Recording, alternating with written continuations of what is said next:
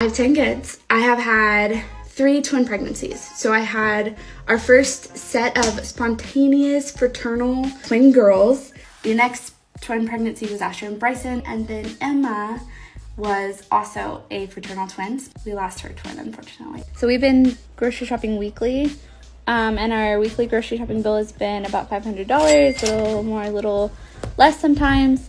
We're a family of 12. Uh, my baby is full time breastfed, and so that actually adds calories for me. I have to consume more calories to nurse him. So that's 11 of us. And then we also run an office from our house. So we have neighborhood kids who come and hang out and we feed them as well. So, yes, so that's 12, 13 or so mouths to feed daily.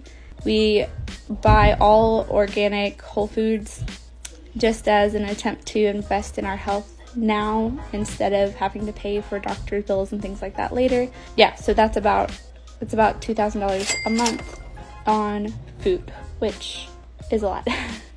Amanda and her husband Chris met back in 2013 and tied the knot in 2014. The pair began trying for a baby almost immediately and now have a family of 10. One, two, three! we bought over $500 worth of kids' clothes today. Come check it out. We bought for the kids all winter clothes. We have 21 tops. We have 12 pairs of jeans, two pairs of sweats, and we have 28 jackets and sweaters, as well as another set of 12 gloves and hats. Bought each of these items at a 60% discount.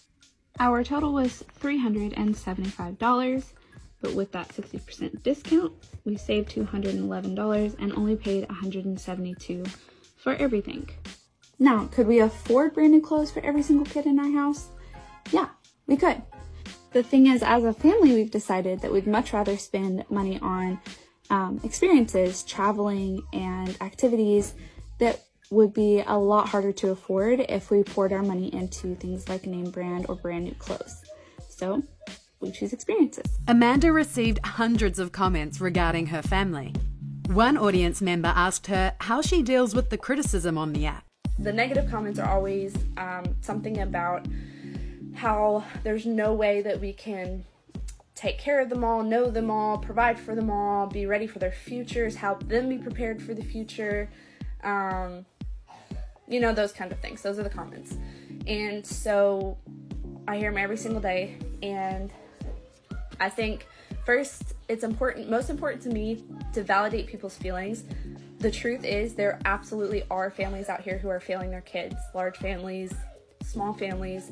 So just kind of coming from that place of like mindfulness that I can validate them and let them know that it is, I share in those very, very same concerns and then if anyone sticks around long enough to actually have a conversation with me, I'm happy to share with them many of the things that we do in, in our household. We're a large family. We drive a 15 passenger van. We're a large family. When one of us gets sick, we all get sick. We're a large family. We have never ending laundry. I love family. So all of family tic tac toe. To kind of just combat any of those concerns they might have. So, um, not being there for our kids. Well, both my husband and I work remotely, so we're here every single day, and our kids are homeschooled, so we are literally, literally with them 24/7, and it's hard not to know each other really well when you spend all your time together. Um, any dreams and and things that we want to do with our life, we involve our children in. We pursue things that they love as well, and all of that just helps helps us get to know each other better and gives us time to to never leave anyone feeling lost in the mix of kids or something like that. Amanda uses the popular social media platform TikTok to post updates about her large family. Follow up questions How many kids do you want in your own family when you have kids? Five to ten. Five boys and five girls, okay? Five boys. I want ten girls and that's it. Just, just girls. I want ten girls and one boy. I want a lot of boys and one girl. Girls. How many kids do you want in your family, Eli? Four. Four. Emma, how many kids do you want in your family? I want two babies. You want that many babies? Five? What's your name and how old are you? My name is Logan and I'm 13 years old. My name is Ryan and I'm 11 years old. My name is Liam and I'm 8. My name is Maya and I'm 7. My name is Mia and I'm 7. My name is Asher and I'm 6.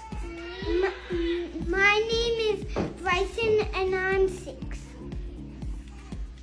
What's your name and how old are you? Um, my name is Eli. And how old are you? Um, four. Yes. What's your name and how old are you? Um, seven. You're not seven. What's your name? Uh, Emily. Yes. How old are you? Three. Two. Two. Yes. A huge thank you to Amanda for letting us share her story. And we wish her and the family all the best for the future. Amanda's family is so cute, and her audience thinks so too. One commenter said, Beautiful family. And another said, Would you have any more? To which Amanda replied back, For sure. Thanks for watching Ultimate.